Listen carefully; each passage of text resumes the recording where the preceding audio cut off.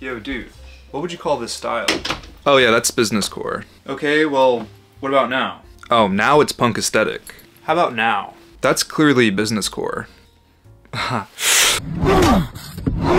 Wait, JQ, forget the semantics of cores and aesthetics for a second. You can finally access your favorite TV show that you definitely won't base your whole personality on. Wait, so you're telling me I can watch The Office? Of course. But let me stop talking to you, let me talk to the audience here. Now, Netflix in the US doesn't allow me to watch The Office, so I use Surfshark VPN. They route my traffic through a different server located in a different country, which allows you to bypass website restrictions safely and easily. I can also access Japan's Netflix, which allows me to watch Steins Gate. I mean, besides being able to access different websites your country might restrict you from using, you can also browse the web anonymously, protect yourself from Wi-Fi hacks, avoid ISP tracking, improve your connection speed, and stay safe while working remotely. And there's no risk with trying Surfshark because you get a 30-day money-back guarantee. And don't forget to secure your privacy with Surfshark and enter the coupon code ELITIST for an extra three months for free. So give Surfshark a try and you can watch The Office all you want. And I'd like to give a huge thanks to Surfshark for sponsoring this video. Now let's get back to it.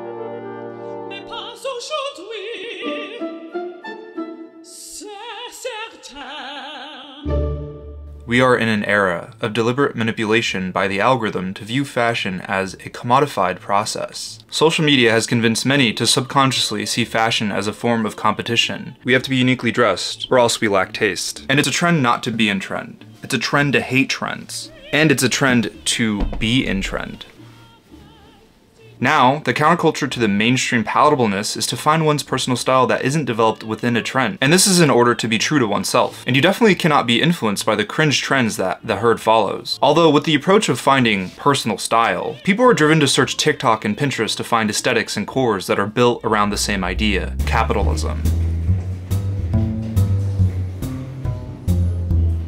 Aesthetics was an area of philosophical study centered around beauty as a concept and how images and objects impacts one's life. If you present a certain way, then you are that. You live, breathe, and cultivate what you appear to be. They sell you an image of appearance, but not the community and world building of its true essence. Aesthetics and cores are born from rudimentary ideas that lack depth. And of course, it's easier to format something that requires less things to achieve. Now, with that, we see that the instant gratification people seek is showcased through the idea of wanting to appear aesthetically as a genre, but to never participate in its lifestyle or culture. Cores and aesthetics are what happens when a subculture is stripped down, hollowed out, and repackaged into a loadout for companies to sell to you as if that's the only way to access these subcultures. They take subcultures which have rich history, beliefs, and a lifestyle, then create them into palatable objects that have a surface level approach that has little to no substance for people to buy. An example of this is like buying a costume at a party city. You now are that character you wear. Yet with fashion, there's no distinction from fantasy to lifestyle. Now, the question here is, when does an outfit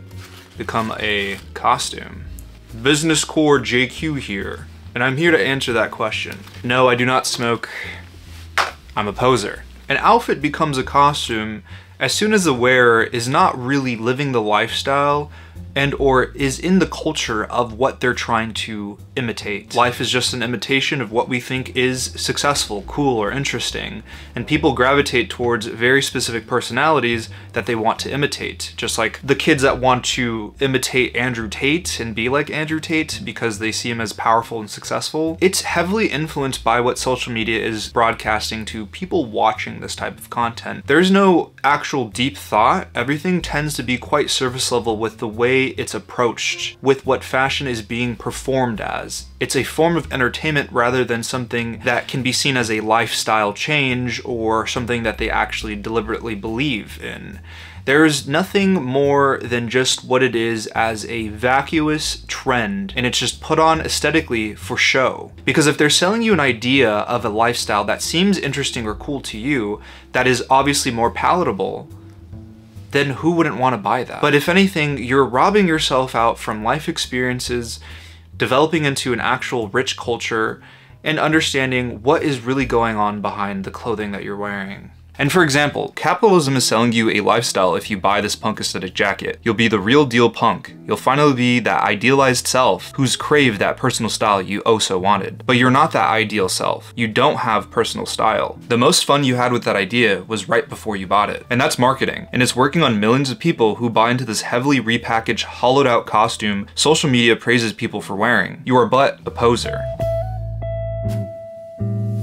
Social media has developed these overly positive habits of supporting everyone and anything to avoid being seen as a hater or pretentious. With costume wearers being uplifted and the realists being shown out of the conversation, we are but just left with the echo chamber of yes men and women pushing younger and older individuals to fall for the same trap that is being a thoughtless jester in consumer culture. In order to escape the cave of creators that advocate for finding your personal style through cores and aesthetics, one must first consider that you're being sold a lifestyle that is an imitation. Once you recognize that you can start the journey of self actualization and understanding how you want to move through the world rather than simply putting it on and appearing to be something you're not, you're one step ahead in the journey that awaits you. Fashion is not an end all be all, it's a hobby, it's a privilege, and it tests your patience. Now, to start, you must first involve yourself in the culture, conversations, and experiences that are genres. And secondly, don't gain all your information from TikTok, because if you gained your information from TikTok and you stated that was your source, you probably would fail all your college classes, let's be honest. Instead, use the internet to research, rather than take small bits of possible misinformation from short form content. Utilize other sources and remain skeptical of content you consume for who knows if it's truly erect.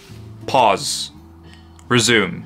Correct. Now, if anyone has great sources for knowledge about fashion or anything that you could help, leave them down below so you can help out the community of our brothers and sisters. Well, there's only about 8.5% of sisters here, but shout out you. Furthermore, if you understand that it's not just simply appearing to be, but actually being, then you have escaped the cave. New coffee table that costs $4,000. New outfits that you cannot see. Coquette core. What are you today? Huh? What are you today? Um, Business Got- core. guy that just got laid off in fintech. Core. Today we are going to get our ears pierced. And then some. And then some after that. And then some after that. Today I'm wearing the Pope's fragrance. Very awesome Pope's fragrance. That is what I'm wearing today.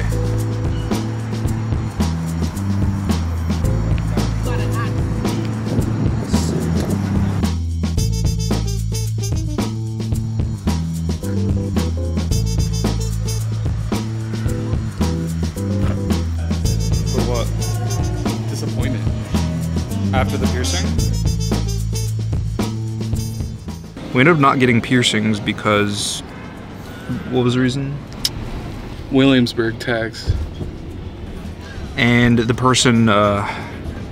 They pierced the guy's nose wrong. That scared me off. Bad vibes. Bad vibes. From there, we went to. We got on the train. What's going on over here?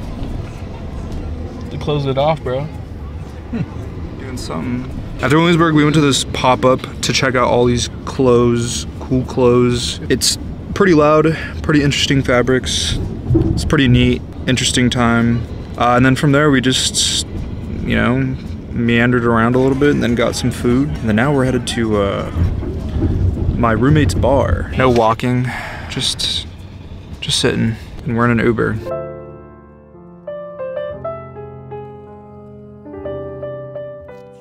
Your recommendation. Is it a good book? I haven't read it yet. My friend Connor. What's the female gaze? No comment. Yeah. What do you think the female gaze is? Uh, the female gaze is uh, Ryan Gosling in in the movie Drive. What's the, vibe, bro? Answer. It's like yeah I don't like. Okay, can you give me an example of like the male gaze first of all. Female gaze. What you think the female gaze is? I feel like it's like goofy guy, bro. It's just a goofy guy. Like if, if you, Well, I'm from they're mad. Um, China and then Malaysia. But what's the I'm word? here. Like if a dude has charisma or like some type but a of lot of I know that a lot of Like- uh, Malaysian Muslim. Like my dad, Asian. openness, like so, like not being a lot of afraid to my talk to someone. But some are- some girls like the opposite, where they like the girl closed off guy. I think it really depends on how they portray themselves. If you match the energy of them, that's what you need, bro. That's what they want. Hit me up. Hit me up. What's the feeling? gaze? it really depends for the girl. Um, I honestly don't know. I'm not experienced.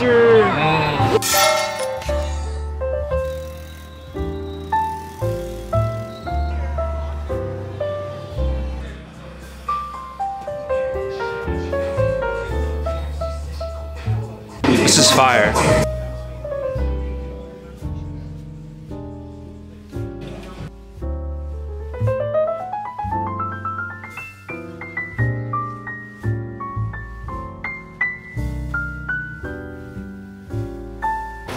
Dude, look at, look, at, look at his butt, bro. Fire. So fire. My kith treat at the kith store. Clip. It says Prita chocolate. Um,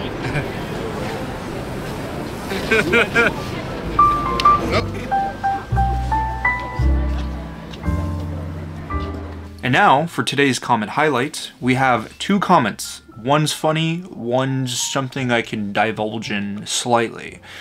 So, the first comment comes from this guy named GangSwag3447. He says, he asked the female gaze about the female gaze. Bars. Great comment, Swag. Gang Swag, actually. Uh, next comment. When you dress average, you attract average people, so you get more matches. But from personal experience, I can say that dressing in your style is way better for attracting women that you will actually like and get along with. This is something I didn't touch on, but as a person has stated very clearly, yes, that does make total sense. Um, when you dress in a very, very niche way, you will only really attract people that are either interested in that or open-minded and or also are in the genre or get it. You know what I mean? And I'm not to, I'm not saying this to ostracize people from dressing. Like the more you dress insane, the more you'll no one will like you. That's not true. It's just in in terms of like a dating aspect from based off first glances, you'll get a lot of stereotypes just in general. I mean, we stereotype people that are very mainstream looking as you probably think they're boring and whatnot, but regardless of the fact, you will definitely pull very specific types of people that are interested in that kind of crowd. It's like the artistic guy versus the avant-garde pretentious dude. I mean, who's really attracted to either or? It varies from woman to woman, from man to man, whatever you're into. But nonetheless, your hobbies and just what you talk about, your lifestyles, it attracts certain people. Anyway, I'll catch you guys in the next one. Um, I'll be hopefully in LA. I plan on doing a few other videos out there. I'd also like to quick shout out to the Patreon members. I've been trying to do my best with doing podcast stuff on there, but I have so many projects going on. But now I'm putting all the VODs of the live streams up on there, so if you ever feel like catching those, dollar donos, any donation, you can watch those. Uh, I talk a lot, I yap a lot on them. Um, you can probably hear about my ideas and thoughts with regarding what people do, but please catch me on the live streams. I'd appreciate being able to talk to more of you guys on there and even having a discussion. I try to talk to as many people as I can on there, and it's been going pretty well. It's pretty nice. I'm sure by the time I post this video, I'm to be 26, so it's my birthday. Uh, pretty soon. I'm 25. I, I don't think most people don't know that, but I will be 26 by the time this video is posted. Uh, it's not much of an odd feeling as it's more comforting than ever. I continue to grow in myself and I continue to gain more knowledge. And I hope this channel grows with me in, in time and age, as well as you. Um, but yeah, leave your birthday wishes down below. Uh, leave comments, replies, questions, whatever. And hopefully I'll see you guys in the next one if I'm still alive. I might get destroyed on the plane. I'm, the plane might blow up and this might be my last video that I ever make, but you know, time is sacred, so go and enjoy life and roam the streets. Catch you guys in the next one. Later, drainers. Later, drainers. Until next time. You must capitalize in capitalism to find one's true self, they tell you. Oh, are you so lost, my friend? Real fashion is not meant to be palatable, it's meant to be artistic to the point where it makes the viewer choke. It's not meant to be easily digestible or watered down. You're supposed to be choking at what you see, and the average typical person that will see something that's very eccentric, very fixated on something very specific, it's not wearable for them because it's not what they believe in or what they can understand or are willing to understand. And it forces that person to choke on it. Pause. Resume.